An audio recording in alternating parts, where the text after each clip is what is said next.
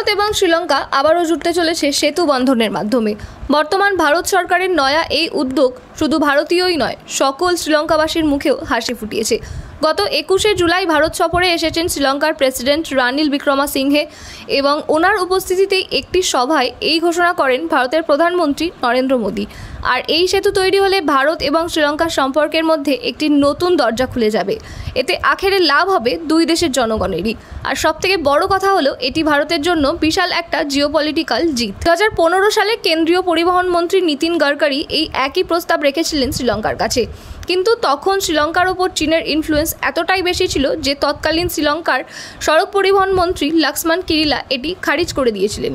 বিগত দু বছরে শ্রীলঙ্কার ব্যাংক্রাফ্ট হয়ে যাওয়া এবং শ্রীলঙ্কাকে ভারতের করা অপরিসীম সাহায্য শ্রীলঙ্কাবাসীর মনে ভারতের জন্য একটি বিশেষ স্থান তৈরি করেছে। এটি ভারতের জন্য বিশাল একটি জিওপলিটিক্যাল জয়, যার ফলে শ্রীলঙ্কার বর্তমান গভর্নমেন্ট এই প্রস্তাবটি সাদরে গ্রহণ করেছে। এই ব্রিজটির সাথে থাকবে একটি পাইপলাইন, যার মাধ্যমে শ্রীলঙ্কার প্রয়োজনীয় পেট্রোল এবং ডিজেল রপ্তানি করতে পারবে ভারত। বর্তমানে যেগুলি পরিবহনের একমাত্র মাধ্যম নৌপথ। এই পাইপলাইন চালু হলে পণ্য পরিবহনের সময় এবং খরচ দুটোই কিন্তু কমে যাবে। বর্তমানে শ্রীলঙ্কার সাথে ভারতের বাৎসরিক বাণিজ্যের পরিমাণ ফাইভ বিলিয়ন ডলার এই ব্রিজটি চালু হলে আশা করা যাচ্ছে বাণিজ্যের এই পরিমাণ বেড়ে দশ বিলিয়ন ডলারেরও বেশি হয়ে যাবে। এতে আখেরে লাভ হবে ভারতেরই, কারণ ভারত শ্রীলঙ্কায় এক্সপোর্ট বেশি করে।